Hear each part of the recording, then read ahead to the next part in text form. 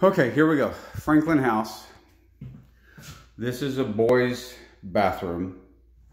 You see the pitches and everything. So we want to tear all this out and redo it. I don't particularly like this because you can never clean, so I want to do a standard curb system. All this remains the same. And then we have some extra space here. I want to steal from this space, come across and close this in, and then move the attic entrance over so we can make that bathroom bigger, all right?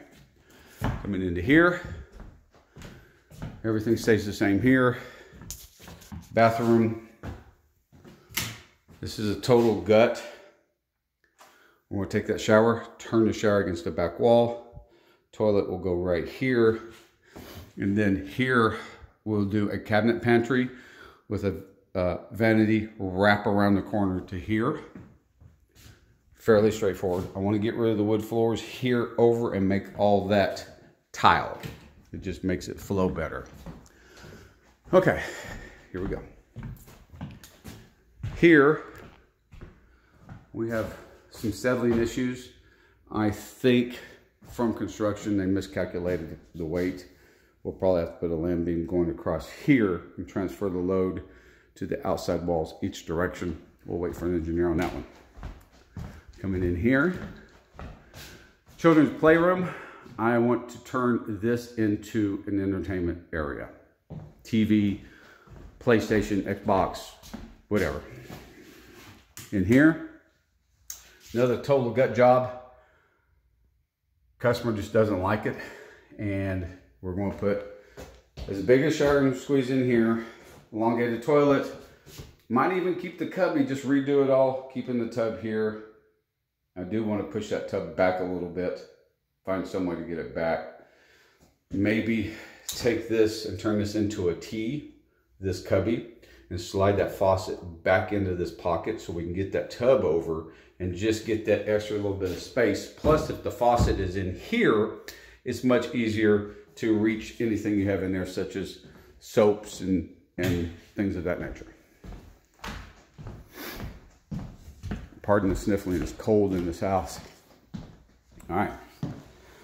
Obviously, all the floors are going to be, be patched and refinished. All right, we'll go. Let's start here. Beautiful house. They put air return here.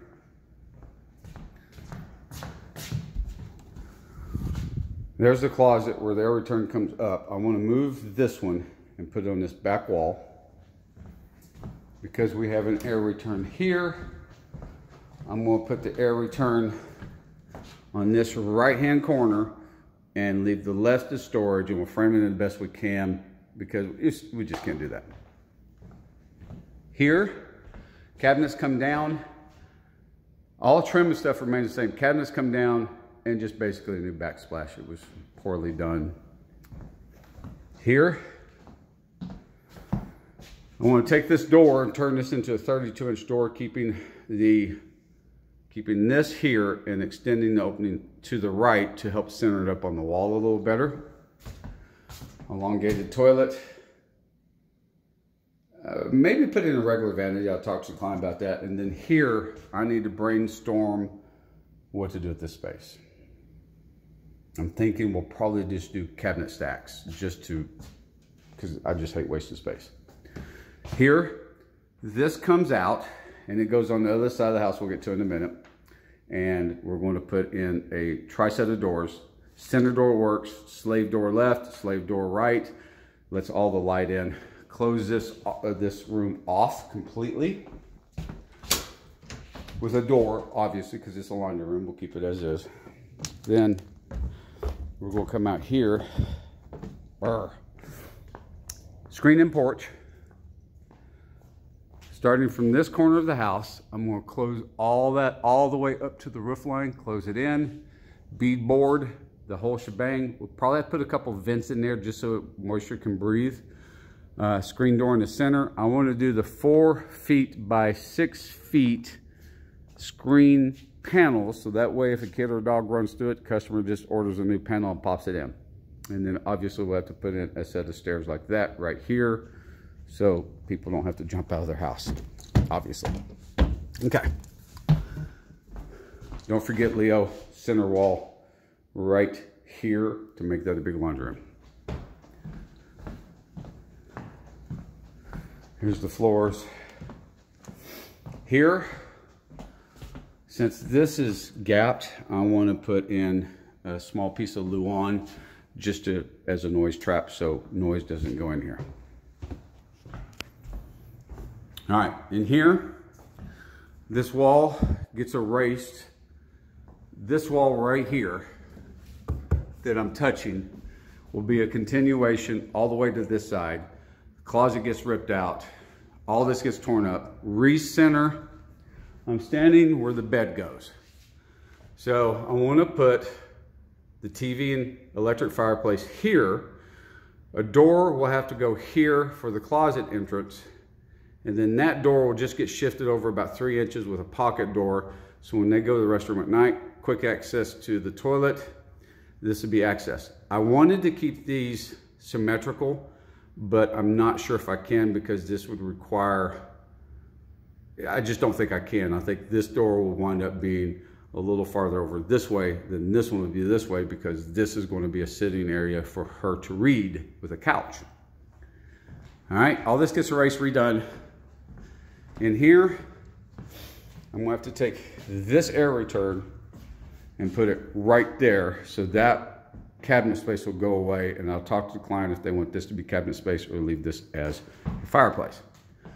This room will be nothing but closet. This door gets erased. This one, I haven't asked the client specifically about the door, but because it has a deck, I was thinking maybe leave the door in here, but if they need extra space, we'll close it off. Full closet system. Our normal thing, you know, tall shorts, pockets, things like that made out of our normal material. And then in the center, uh, cabinet base on this side, drawer, drawer with a pocket underneath the granite for her to sit and do makeup. And I think she should face it this way when she does it so she gets natural light coming into her face. Woo, lots to talk about. Here, this, we're going to strip it completely, all the way down to studs. And we're going to wrap this a three quarter inch Van-Tack. We're going to do hurricane ties on the ceiling. We're going to screw all the baseboard into the joist and hurricane tie, hurricane tie those. Wrap the whole thing in three quarter inch plywood, screwed every six inches. And then we'll cover it with drywall and we're going to put a hidden door system in here with a mag lock. And I'm thinking that we'll put the mag lock key code right here. And we can do a biometric fingerprint system or we can do a punch code, but this will be a maglock hidden door so they can get into quickly. And when that maglock shuts, they're, they're, they're locked in.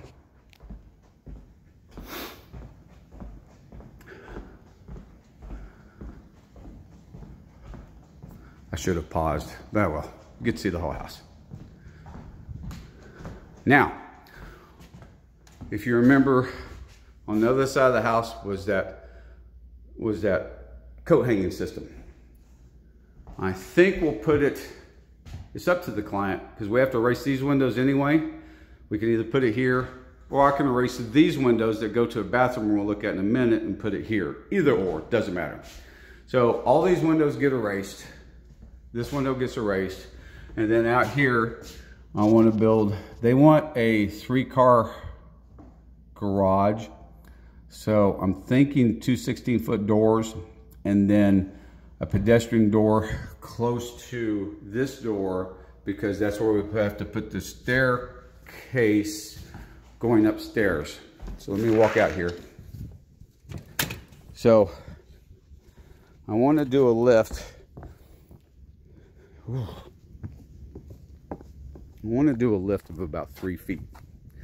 So coming off the corner of the house, I'm thinking maybe we may have to come out here. I think we'll come out here, do a three foot lift because what my worry is, is water rushing down into the garage. So I need to put, do a footer here, do enough brick block to get lift so that when the rain hits, we get the water channeled that way instead of in and through the garage. That, that would be a disaster.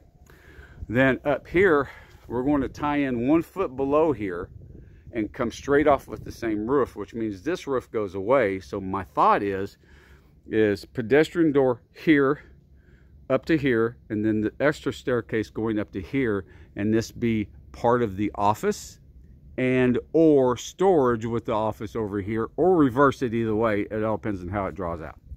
So okay so that's got that that taken care of.